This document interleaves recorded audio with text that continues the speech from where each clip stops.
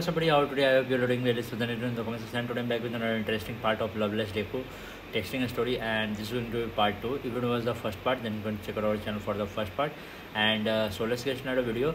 And make sure to like the video and subscribe to the channel and press the bell icon for the notification. And you can also check out our channel for other amazing stories. So bye bye guys. Get into the video. Bye.